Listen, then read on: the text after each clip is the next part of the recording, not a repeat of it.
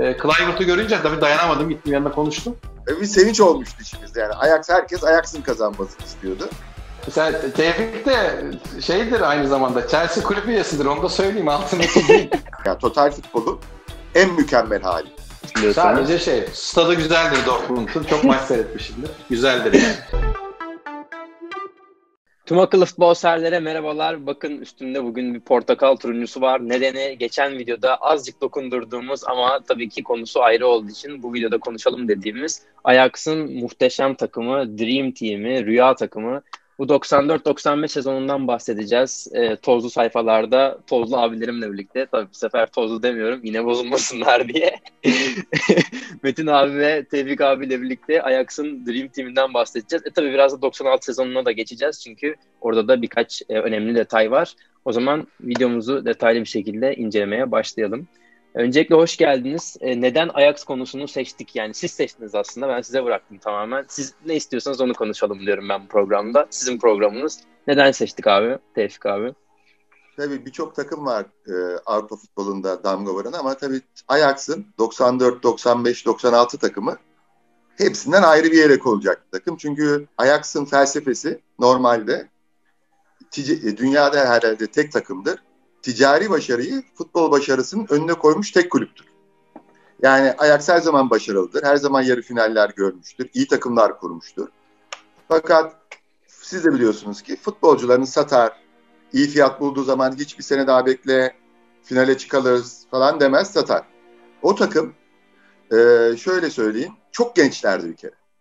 Yani ben o takımı seyrettik biz ve o kupaya doğru yürürken hep şu vardı herkesin aklında. Ya bu sefer elenecekler. Hep bu sefer elenecekler diye yani çıkarlardı. Fakat hem çok gençlerdi bir konuşmalarında diyorlar ki biz çok gençtik ama çok da tecrübeliydik aslında. Nasıl oluyor bu ikisi? Yıllarca hep beraber oynuyorlar. Uluslararası turnuvalarda hep beraber oynuyorlar. Zaten hepsi ümit milli. Zaten çocukluk yaşlarından itibaren milli oluyorlar. O tecrübeyi elde etmiş bir takımdı. Ve takım bozulmadı. Yani aslında o takımdan iki oyuncuyu çıkartsan yaş ortalaması 20-21. Ve çok domine ederek şampiyon oldular. Yani o iki sezonda maç kaybetmeden hem ligde hem Şampiyonlar Ligi'nde şampiyon oldular. Böyle bir başarı yok. O yüzden Ajax dedik. Ee, tabii o takımdaki futbolcuların ondan sonraki e, kariyerleri de çok büyük oldu. Ee, daha sonra kaybolmadı yıldız olarak. Yani o döneme ait iki sezonu oynayıp da tekrar e, kaybolmuş bir takım da değildi. Dağıldılar. Fakat en iyi dünyanın en ünlü kulüplerinde ve az futbolcu olarak devam ettiler. Biz de o dönemlerde üniversitede final maçını seyretmiştik yurtta. He, beraber, beraber, beraber seyrettik. Bir sevinç olmuştu içimizde yani. Ajax herkes Ajax'ın kazanmasını istiyordu. Ve öyle de oldu. Tabii ondan sonra tabii futbolcu kariyerlerini Metin daha iyi bilir. Daha da e, şey olarak yürümüşlerdi. Tabii o arada çok önemli de maçlar oynadılar. Yani öyle sadece finale rahat rahat gelip Milan'da değil de e, ondan önce de büyük takımlarla oynadılar. Onları da yendiler yani. Hani hep Onlar, böyle küçük grup, takımları yenerek geldiler. Yani grup aşamasında zaten ilk grupta Milan'la Milan. beraberler. Milan'ın üzerinden çıkıyor. Ee, yarı final maçı unutulmaz bir maçtır. Ee, Deniz onu özellikle sana söylüyorum. Hani 5-2'lik maç. 5-2 Bayern Ondan, maçı. Bayern, Bayern maçı ve o 5-2'lik maçta ikinci gol bacak arasına pas geçip de e, o füze gibi gol e, Ajax için o, o, sene en güzel goller sıralaması da o gol birdir. Kluivert'ın Şampiyonlar Ligi finalinde attığı golü mesela onlar 3 ya da 4 diye koyarlar. Çok anlamlı bir goldür. Ama hani e, golün yapılışı ve topun gidişi anlamında Bayern Münih maçı çok önemli bir maçtı. Tevfik'in dediği gibi yani çok kolay rakiplerle oynamadılar. E, yani bu takım sonra 96'da da e, ilk turda Real Madrid'le oynuyor. Real Madrid'i deplasmanda yenerler. E, yani sonuçta takım e, Tevfik'in dediği gibi çok eskiden gelen bir takım. Beraber oynuyorlar değil mi? Ondan sonra üç kere üst üste şampiyon oluyor. E, Tevfik o kaç tane yaklaşık 50 mi 60 60 maç civarında ama namalipler. Şampiyonlar Ligi'ni hala şu anda sene 2020 Şampiyonlar Ligi'ni namalip olup hem Şampiyonlar Ligi'ni hem ligi kazanan bir takım daha yok. O Ajax'ın o 95 kadrosu. Ee, hani takıma baktığın zaman şimdi o konuya gelecek olursak takımın hepsi bir yıldız ama o takım 1998 98 yılında tamamen değil mi Tevfik? Hepsi gidiyor. Hepsi gidiyor. gidiyor. Hiçbirisi kalmıyor. Hiçbiri kalmıyor. Hiçbirisi kalmıyor. Zaten Van Gaal de 97'ye kadar takımın başında. Ondan sonra Ajax düşüşe geçmeye başlıyor aslında biraz. Evet. Yani o onunla birlikte biraz düşüşe geçiyorlar. Ben de o Ya. dönem hani maçlarla ilgili şunları söyleyecektim. Sonra da oyunculara geçelim istersen. Yani Milan'ın dediğin gibi olduğu grupta 10 puanla çıkıyorlar. O zaman 2 puanlı Evet. sistem. Yani 4 galibiyet, 2 beraberlikle çıkıyorlar. Ve ondan sonra yendikleri takımlar da ekstra. Yani Hayduk'u 3-0'la geçiyorlar. Bir maç berabere, ikinci maç 3-0. Ee, Bayern Münih ilk maç yine berabere deplasmanla. içeride 5-2. 5-2'lik harika bir maç. O maçla ilgili bir detay vardı. Sen de istersen onu versen sonra devam edeyim. Yani orada da e, ne diyelim sanat dünyasına bir e, ismin girişi vardır. Andrei Rui'nin e, ikinci vals diye bildiğimiz e, eser orada çalınır devre arasında ve o görüntü muhteşemdir. Bütün ayak seyircisi işte atkılarını, şapkalarını, ellerinde ne varsa onu sallar. E, Andrei Rui'nin hayatında da e, internet sayfasında o yazar 1995 senesi olarak. Hani beni dünyaya tanıtan bir organizasyondur der o maç için. E, Ajax'a- Ajaxlıların da ona karşı ayrı bir sempatisi vardır. O zaman finalle ilgili ben yine bir iki detay vereyim. E, Ajax Milan finali 1-0 sonuçlanıyor ama yani Ajax orada favori değil. Çünkü bahsettiğin gibi Milan hem önceki yılın şampiyonu hem de muazzam bir kadroya sahip. Özellikle savunma anlamında ki Ajax'ın da zaten nasıl durdurabilirsiniz? Savunma yaparak durdurabilirsiniz. Hücum gücü çok yüksek bir takım. E, ve hani Milan favori olarak çıkmasına rağmen Ajax kazanıyor. Nasıl kazanıyor? İlk yarı bittikten sonra Rijkaard soyunma odasında normalde hiç yapmazmış. Normalde Frank de Boer konuşurmuş. Ama Rijkaard son maçı o. Ajax'taki zaten emekli ayrılacak. Ve bir e, alıyor bayrağı eline bir konuşma yapıyor. Diyor ki bir daha bu şans bizim elimize gelmeyecek. Bizim gibi takımlara yüzyılda bir gelecek şanslardan biridir bu. O yüzden çıkın ya şimdi ya hiç diyor. Çıkın oynayın topunuzu diyor. Rijkaard orada sazı eline alıyor. E, Kluivert giriyor. Oyuncu değişiklikleri oluyor ve Kluivert sonra maçı kazandırıyor. Öyle bir detay var. Bir de stadyumla ilgili bir detay vereceğim ben de. O, o E, Viyana stadı. Viyana Ernst Happel stadı. Ee, Evet. Ben daha önce Total Futbol videosunda bahsetmiştim. Biliyorsunuz Total Futbol denince Ajax'la Hollanda ile çok ilişkilendirilir. Ama Ernst Happel aslında Total Futbol'un babasıdır. Yani en arka planda ilk Avusturya'da oynatılan o müthiş futbolun babasıdır ve o statta Ajax'ın kazanması bence yine çok güzel bir detaydı. Ee, onun dışında finalde Savicevic yok. Metin abi çok sever. Onunla ilgili ne Savicevic'i çok söyleyebilirsin? yani Savicevic'in eksikliği nasıl etkiledi mesela sence finali? Yani şöyle e, ya o takım çok güçlü. Yani o takım bugüne kadar gelmiş en sağlam defanslardan biri Milan takımı. Evet. Yani değil mi Tevfik? Yani Evet, var. Rossi var. Baresi, Baresi. Maldini, Costa Curta var. Hani o takım o takımı e, yeneceklerin Tevfik'in dediği gibi kendileri de çok fazla inanmıyordu.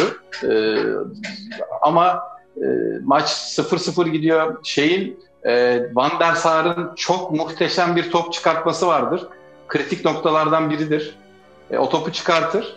E, sonra oyuncu değişikliği oluyor. E, Litmanen galiba çıkıyor. Şey giriyor. Kluivert giriyor. Kluivert da sonra o en güzel gollerinden birini atıyor ve 1-0 kazanıyorlar. Yani Savicevic'in olmaması etkiledi mi? Ben çok etki, etkilediğini düşünmüyorum. yani etkiledi mi? Çok az bir etkileme olabilir ama gene şey konusuna gelecek olursak hani o total futbol, futbol konusu ve hani bizde baklava denilen ama yurt dışında diamond denilen değil mi? Hani o sistem. Şimdi o, o sistem o sisteme karşı zaten hiçbir takım bir çözüm üretemedi. Şimdi Çünkü o zaman. Rijkaard, Rijkaard şimdi ve e, Rijkaard zaten hani çok yönlü oyuncu. Stoperde başlayıp ileride bitiren bir adam maçı. Yani öyle değişik bir adamdır Rijkaard zaten. yani o, Bir de olması. İşte Evet. dediğin gibi bizim Türklerin baklava dediği, onların, Onların da da- Diamond dediği, Hollanda Diamond dediği. Dolayı. Yani o, o, o takımda şöyle bir şey var. Hani o konular Tevfik'in daha böyle profesyonel olduğu konular. Kalede, kalede Van der Sar var. Reisiger var. De Boer var. ee, Clint var. Blind var. Blind var ve ama oyun sistemi nasıl? Arkada bir dörtlü varken hep onlar Rijkaard'ı öne alıyorlar. Bir Blind'le beraber. Ve bunda da bir, bir ayrı bir durum var. Üç kişi oynamalarına rağmen sen e, Bayern Münih'in kalecisi Neuer'in bir açıklaması var. Dünya futbol tarihinde topu ayakla oynayan ve bu sistemi en iyi kuran kaleci Van der Sar der.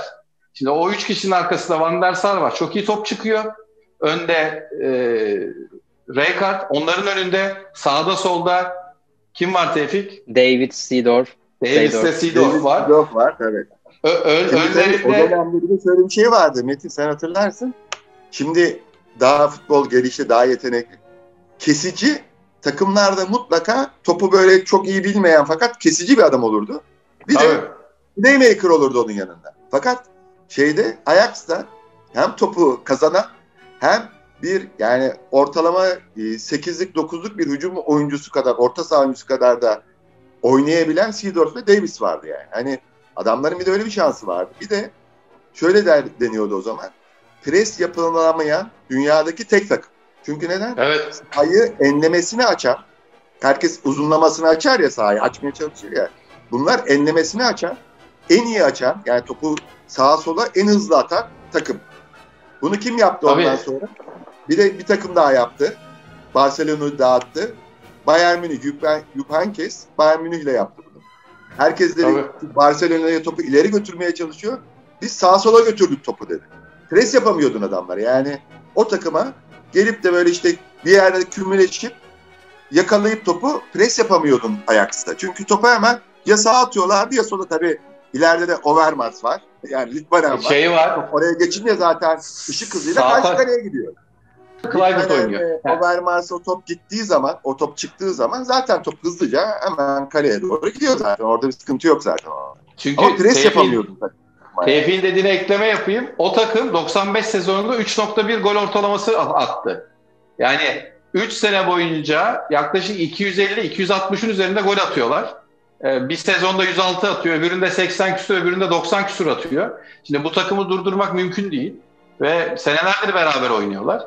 Ee, sonuç 95'te böyle bir başarı. Şimdi 95'te böyle bir başarı derken 95'te ligi alıyorlar. Süper Kupayı alıyorlar. Şampiyonlar Ligi'ni alıyorlar. İlk defa 95'te Avrupa Süper Kupası'na değil, UEFA Süper Kupası'na değişiyor adı. Onu kazanıyor. Arkasından Tevfik bizim Galatasaraylı Jardel'in o zaman tabii Galatasaraylı değil. Evet. Jardel'in olduğu takımı penaltılarda yeniyor. Ee, şeyi Gremio'yu. Gremio'yu yeniyor e, penaltılarda. Ee, bu takımın almadığı bir kupa kalmıyor neredeyse. E, 96'da da çok başarılı. Hani Tevfik'in dediği gibi ben Tevfik'e o konuda katılıyorum. Gelmiş geçmiş en müstesna takımlardan yani iki tane say deseler bir bunu sayarım. Bir Manchester United sayarım. Çok gerilere gitmiyorum. Hani bir de tabii ekol oluyor. Zaten hani Hollanda futbolu ekol ama en mükemmelleştirilmiş hali olarak o ayak takımı gösteriliyor. Yani total futbolu en mükemmel hali olarak o takım her zaman en önde yer alıyor. Yani işte bizim bundan 7-8 sene önce muhteşem Barcelona diye seyrettiğin takım aslında bu sistemin takımı. Evet. Yani bu, bu adamların kurduğu sistemin Cruyff'un orada uygulaması sonra Guardiola'nın mükemmel yani birçok takıma da ilham kaynağı oluyor yani bu oyun tarzı. Tabii diklemesine gitmiyorlar. Tevfik'in dediği gibi diklemesine de git yani diklemesine de gidiyor. Ama sağda solda bir tarafta e, Zidorf'un olması, öbür tarafta Davidson olması e, topu çok iyi Hayır, kullanan çok Blint, oynuyorlar. Yani. Evet. Blint'in olması. oynadıkları için yani karşı takım pres yapamıyor ve çok yoruluyor. Çabuk yoruluyor. Yani 70'ten de sonra takımlar topu almaktan ümidini kesiyor adamlardan. Yani hani Çünkü o 30-40 metre var. pasları var. Yani Tabii, De Bruyne da yani sol bekte Tabii de yetenek de var. Yani o paslar hep doğru yere gidiyor. Doğru adama gidiyor. Top kaybı yok. Ayağının altından top kaçırma yok. Taca çıkma yok falan. Yani öyle şeyler yok, de yok. var tabii. E, o dönemki Real Madrid e, teknik direktörünün bir lafı var. Diyor ki Ajax e, sadece bu dönemin 90'ların takımı değil şu an. Şu an gelecekten bir futbol oynuyorlar diyor. Ve bunu yaparken hem güzel bir futbol oynuyorlar hem de aynı zamanda fiziksel e, üstünlükleri de var. Onun da bir çirkinliği var diyor. Bir güzel çirkin yani Beauty and Beast. Ha, orada e, kelime Metin abi, kelime Metin abi İngilizcesi İngilizcesi çok net hatırlıyorum. Van Danon'un lafı o. Beauty and the Beast'ler. Yani, yani orada onun... bazıları da bazıları da o Beauty and the Beast'teki Beast'i yani David sahadaki birisi için evet, yorum Edgar yaparlar David, da. David ha, yani o çok hoş değil. Ya onun nedeni şey işte David biraz daha fiziksel olarak üstün ve top kapma özellikleriyle ön plana çıkan bir oyuncu olması. Seydorf'un da daha playmaker dedi işte Tevfik abinin o tarz bir oyuncu olması. Ama David sadece top kapan bir oyuncu değil. Aynı zamanda topu ileri çıkarabilen de bir oyuncu. Farkı orada yaratıyor zaten. Ee, bir de onun dışında... Sidorf da öyle. Şunu... Sidorf da çok güçlü. Seedorf da aynen. Çok hani, güçlü, sert. Sadece çok kavgacılar yani. Maçları seyredin hep gerginlik var maçlarda. Yani öyle topu ayağından kaçırma falan yok. Öyle çekmek falan yok toptan ayağını. Yani birisi sert geliyorsa o topu bırakmıyorlar yani adamlar. O şeyleriyle. Evet. O zaman 95-96 sezonundan da biraz bahsedelim. Yine ligi zaten süpürüyorlar. Sadece 3 mağlubiyet alıyorlar. Ee, sonra Şampiyonlar Ligi'nde de Real Madrid'in olduğu gruptan lider çıkıyorlar. Yine 5 galibiyet bir beraberlikle. Bu sefer 3 puanlı sisteme geçildiği için 16 puanla çıkıyorlar. Ee, sonrasında çeyrek finalde dönemin flash takımlarından Dortmund'u siliyorlar. Gol yemeden toplamda 3-0'lık evet. skorla geçiyorlar. Onunla ilgili isterseniz bir iki bir şey söyleyebilirsiniz. Maçları hatırlıyorsanız. Sadece şey, stadı güzeldir Dortmund'un. Çok maç seyretmişimdir. Güzeldir yani. O da şey yani iyi bir takım. İyi, iyi bir takım onu, onu da geçiyor. Ama onu hiç şans tanımadılar. Yani hani evet. şey bile yapmadılar. Yani Dortmund hareket edemedi o, o maçlarda yani. Evet finalde de Juventus. Juventus'la berabere kalıp penaltılardan yeniliyorlar. O maçın özelliği Juventus için de şöyle. Juventus ondan sonra kazanamıyor. Evet. Dortmund'da yani kaybettiler. Finalde. Yani e, fi, finalde e, penaltılardan dolayı kaybediyorlar. Juventus kazanıyor. Juventuslar da şimdi hani Buffon'un şey var ya Dünya Kupası mı, Şampiyonlar Ligi Kupası mı diye. Bu konuşulduğunda hep e, şey çıkar. Bu maç çıkar ortaya. E, şey tarafından da yani ma- maçın özeline bakarsan maç gene çok dengeli bir maç. Böyle hani iki takım da birbirine çok böyle bir üstünlük kuruyor mu? Hatırladığım kadarıyla kurmadı.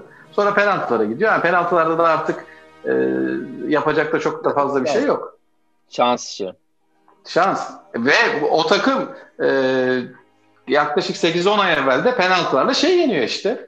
Gremio'yu yeniyor. Evet. O zaman izleyicilerimizden gelen sorulara geçelim. Ee, geçelim. Çok böyle kısa bir süre önce, çekime girmeden hemen önce e, bir grubumuz var. Discord grubumuz var. Arkadaşlar katılabilirler oraya. Oradan sordum hani bir sorunuz var mı diye. E, bu iki değerli futbol grubuna. E, Arda Kaan Koçan Arda Kaan Koçak'ın sorusu şu şekilde. O takımdan daha önce birini canlı izleme ya da sohbet etme şansınız oldu mu? Ajax maçını seyrettim. Öyle mi? Tabii ben Fenerbahçe'yim o zaman gidilirdi böyle iyi maçlara. Hani e, gitmek güzel. Mesela ben Galatasaray'ın Avrupa Kupası maçlarına falan da gitmiştik. O zaman öyle evet. gidilirdi. Metin bilir yani. Biz böyle Fenerbahçe'nin maçı da olsa Avrupa Kupası maçlarına giderdik. Tabii sonucu iyi olmadı Beşiktaş'ın. Litmanen orada bir iki tane, iki tane. halletmişti Litmanen konuyu. Ama Metin Beşiktaş, konuştu, yapmıştı bir kadar. Beşiktaş ben, maçında ben... şöyle bir detay var, onu da vereyim hemen. E, Feyyaz Uçar'a soruyorlar maçla ilgili ya da Ajax'la ilgili ne söylersiniz diye. Overmars topu bir çekti, Oktay ile ikimiz reklam panolarına gitti diyor. Hani o kadar hızlıydı evet. bilekleri diyor. e, 2017 Stockholm'de Ajax e, Manchester United finaline gitmiştim e, her UEFA ya da Şampiyonlar Ligi finalinin olduğu şehirde UEFA'nın kaldığı, UEFA yöneticilerinin kaldığı otel vardır. Orada böyle nasıl diyeyim ben sana, öğlenden itibaren bir çay, kek, pasta, muhabbetleri olur, oturursun, konuşursun filan. Ben de UEFA'dan dolayı gitmiştim oraya. E, Clivert'ı görünce tabii dayanamadım, gittim yanında konuştum. E, çok net hatırlıyorum, şunu sormuştum yani, en güzel golün hangisi diye. Çünkü benim kafamda Clivert'la alakalı şu vardır. E, Şampiyonlar Ligi'nde attığı gol var bir de hani tabii seneler geçtikten sonra biz hala Tevfik'le aynı gün içinde de bazen konuşuruz. İşte YouTube'a girip ya da hafta sonları bakarız en güzel goller nedir ne değildir diye. Ve topuk golü vardır ve o maçta hat-trick yapmıştır. Clive bana şey dedi. O gol güzeldir. Yani şey golü, Mallorca golü güzel ama benim için en güzeli ve en anlamlısı tabii ki şey golü. E, Şampiyonlar Ligi'nde attığı gol. Bir de orada çok ilginç ben onu çözemedim ama onu da sormak gerekirmiş demek ki. O golü attıktan sonra Tevfik hatırlıyor musun? Formasını ters çeviriyor. 15 numara. Evet. 15'ti galiba. 15'ti. Ondan ha, onu niye yapıyor? Kameradan çünkü karşıdan çektiği için acaba hani kendi ismini mi dünyaya tanıtmak istiyor? Çünkü orada ters çeviriyor. Bir de Yağız Alkış'ın sorusu var. Diyor ki Pep'in Barcelona'sı ile Ajax, Van Hal'in Ajax'ı kapışsa kim alırdı şu anda? Bence Ajax. Tevfik abi Bence Ajax. kısa bir cevap ben, alalım. O artık o yani bir kere hani e, dedim ya tez antitez gibi Bayern nasıl dağıttı Barcelona'yı? Pep Guardiola'nın Barcelona'sını. Yani Ajax'ın aynı şeyi yapması çok muhtemeldi. Çünkü dediğin gibi sahaya e, Barcelona Enlemesine. Barcelona ne yapıyordu? Hemen topun olduğu yerde 4-5 kişi birikip topu kapıyorlardı Barcelona'da. Fakat Bayern buna izin vermedi ve dağıttı şeyi Barcelona'yı. Yani bu adamlar da zaten Yuprankis'in dediği de o. Yani biz diyor hani e, iki takımı karşılaştırıyorlar sürekli. 94'te bunu. Bunlar da saha enlemesine çok iyi. Yani pres yapılması çok zor bir takım. Yani o kadar hızlı topu sağdan sola, soldan sağa yapıyor. Karşı takım yani o Barcelona bu presi yapması, topu kapması ve topu ayağında tutması da bu kadar mümkün değil. Çünkü karşısında da en az onlar kadar ayağında topu tutabilen bir takım vardı. Daha sert bir takım bir kere yani çok daha sert bir takım şeye göre. Yani çok e, ama tabii orada da Messi var, iyi Xavi Iniesta gibi bir dev var yani. Hani ne olurdu bilmem ama Ajax da böyle başa baş giderdi ama ben yine de Ajax derim. Yani Ajax bir şekilde o ağır Barcelona defansını hallederdi gibi geliyor bana. Yani çünkü o takım bana göre çok daha iyi bir takım. Bir de hani çok daha hızlıydı bir kere de, yani Deniz. Bak, bir de gönülden sevdik o takımı canım. Ben ben o zamanlar işte 20-25 yaşındayım, 23 yaşındayım neyse. Hani sevdik o takımı. Ee, çok pahalı bir takım değil. Diyorum ya iki sene evvel dünyanın en pahalı futbolcusu Lentini ona karşı oynuyorlar. Toplam bütün takımın ederi Lentini kadar değil. Şimdi gel bu tarafa Iniesta, Xavi, Messi hani e, evet de onlar da onunla... bak, bak orada da ben ya seni tamam. böleceğim. Benim için tamam. de o çok anlamlı. Çünkü onlar tamam, da hepsi La Masia'dan çıkma. İşte yaşına göre zaten e, onlar da hepsi La Masia'dan çıkma. Onların olayı da o. Busquets, Pique, Puyol, işte tamam. Xavi, Iniesta, Messi, Pedro. Ama o zaman sana bir, bir dipnot vereyim. İki, iki takımda da gençler çıkıyor. Tamam gençler çıktıktan sonra Ajax'a bak. Ajax'taki gençler çıktıktan sonra aldıkları ücretlere bak. Bir de Barcelona'da çıktıktan evet, sonra evet. Barcelona'ların aldığı fiyata bak. Evet evet o zaten tamam. Barcelona'da profesyonel Aa. oldu mu deli gibi para veriyorlar. O, o bence ya Onlar da hala vermiyorlar. Onlar hala Ajax'ta, vermez. Ajax'ta zaten ilk sene takıma çıktığında topları falan hala sana toplatıyorlar. Yani öyle bir ne kültürleri güzel, de var. Şey, antrenmanda yani, şeyleri güzel. malzemecilik yaptırıyorlar sana. Yani abi kültürü var orada. Evet, o zaman artık toparlayalım. E, Ajax'ın efsane rüya takımını konuştuk. E, tabii Ajax'ın efsane takımı deyince herkesin aklına 70'ler de gelecektir. Cruyff'lu dönem, o zaman arkadaşlar sizin yorumlarda bundan sonra ne gelmesini istediğinizde söyleyin. Hani yorumlarda özellikle belirtin. Deyin ki işte futbol tarihinden şu gelsin. Tarih dediğim hani geçen yıl da olabilir. Tarih deyince o kadar eskileri düşünmeyin yani. Bu adamlar çünkü... Sen niye bizi... Evet sen bizi niye böyle işte, yaptın Tevfik? E, işte...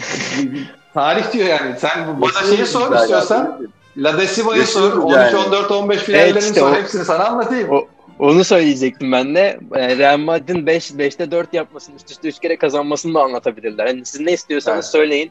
Zaten adamlar çalışmadan gelmiyor merak etmeyin. Bu kadar hepsini ezberden yani. söylemiyorlar. Yok yok %80 ezberden bir de mesela Tevfik de şeydir aynı zamanda Chelsea kulüp üyesidir onu da söyleyeyim altını çizeyim. yani öyle biz çay... tabii biz ikimiz de öyleyiz de. Onu da bir ara söyleriz yani sana. Evet bir, bir gün efsane Chelsea'den de bahsederiz. Roman Abramovich'in kulübü satın alması, o, sizi o zaman, kulübe o zaman, dahil etmesi. o zaman şunu söyleyeyim bu takımla alakalı en son. Bu takımdaki Van der Sar sonra nereye gidiyor? Manchester'a Manchester gidiyor. United. Futbol tarihinde herkesin bildiği bir olay var. Nedir? Anel, Anelka penaltısı. Google'a yazın, YouTube'a yazın Anelka penaltısı diye. Kim kurtarıyor? Van der Sar kurtarıyor. Van der Sar kurtarıyor. Van der Sar kurtarıyor ve Chelsea Manchester United ve o maçta da şey penaltı kaçırıyor Tevfik değil mi? Ronaldo da penaltı kaçırıyor. Evet. Evet. Yani, yani. o o maç e, o Anelka'nın penaltı kaçırmasıyla ilgili zaten ben yine bir videomda bahsetmiştim. Anelka'nın belgeseli çıkmıştı Netflix'te. Hani onu da izleyebilirsiniz. Evet. Ee, onunla ilgili görüşlerimi paylaşmıştım. Anelka'nın orada kariyerinin nasıl bir düşüşe geçtiğinden falan işte. bahsediliyor aslında. Onun ee, için bizi bizi yaşlı yaptın yani. Hep böyle geri, gerilere gidiyoruz. Tevfik sen bununla alakalı bir şey yapar. bir basın açıklaması yapsın Tevfik abi bununla ilgili. o zaman artık programımızı kapatalım. Ee, keyifli bir program oldu. Ee, dediğim gibi arkadaşlar yorumlarda hani geçen yıla kadar Bayern'in şampiyonluğunu bile konuşabiliriz. Hani ne istiyorsanız yorumlarda söyleyin. Ee, biz de onları detaylı bir şekilde anlatalım size. Ee, onun dışında tabii ki kanala ilk kez geldiyseniz abone olmayı ve bildirimlerinizi açmayı unutmayın. Videoyu da beğenirseniz bunun gibi içerikler karşınıza çıkacaktır diye düşünüyorum. O zaman Metin abi ve Tevfik abime yine teşekkür ediyorum. Ee, daha sonraki tozlu sayfalar programlarında görüşmek üzere diyorum. Futbolla kalın, akıllı kalın. Hoşçakalın.